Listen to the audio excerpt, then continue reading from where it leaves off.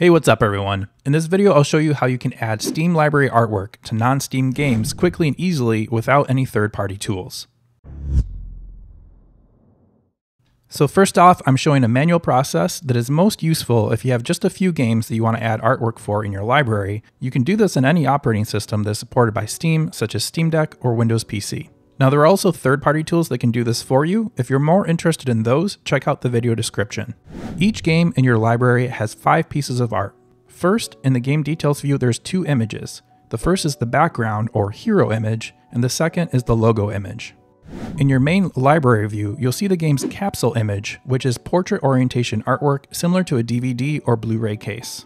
There is also the library header landscape artwork, which is used when the game is in the front of a library list, such as the most recent game that has been played. The last image is the game's icon, which is displayed in the main list when Steam is in desktop mode.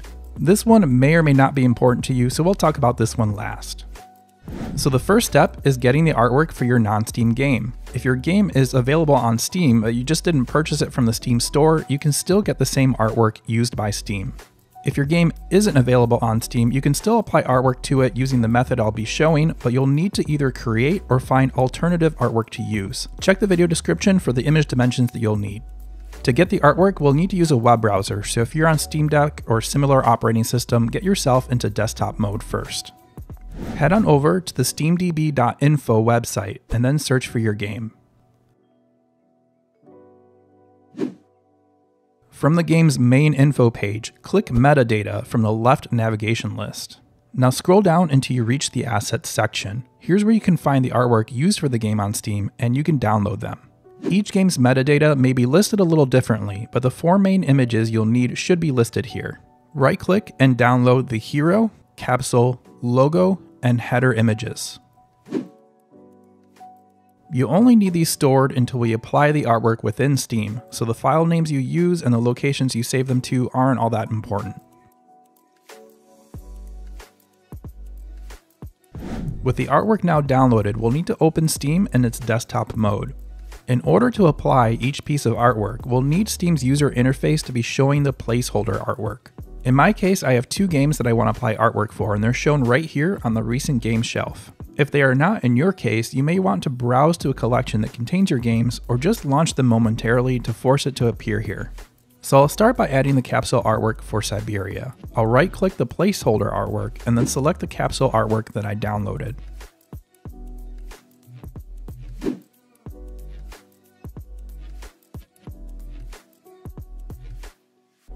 Next, I'll invoke the library item to get into the game details view. Here, I can right click the background area of the game and choose to apply the game's logo image as well as the hero image.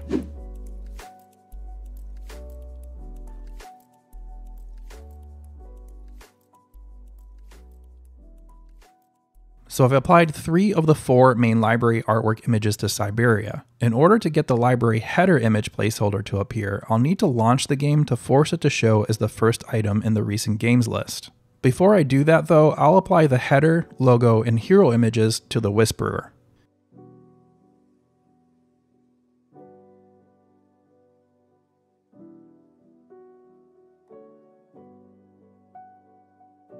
Now for the Whisperer, I only have to apply its library capsule image and I'll be done.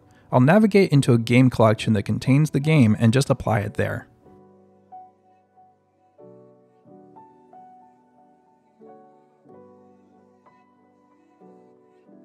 Now for Syberia, I'm just missing the library header image. I'll just start and quit out of the game to force the placeholder to be shown. So now Syberia is at the front of the recent games list and I can apply its header artwork.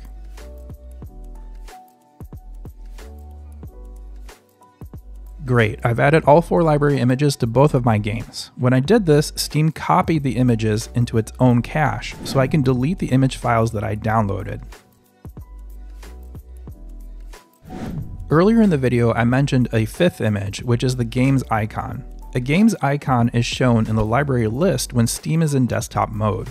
In this case, since I'm running Windows, Steam was able to grab the game icon images from the executables, so I don't need to manually set them.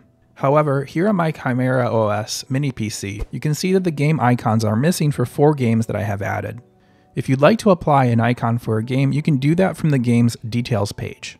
Click the gear icon on the right, then choose Properties. From here, you can left click the icon placeholder, which will open a browse menu where you can choose the icon. There are a few extra details to think about though. The set of image file formats the Steam will accept for the icon is more limited. You can download the game's icon image from the SteamDB website, but the image may be in JPEG format, so you'll need to use some software to convert it to a PNG file before you can use it.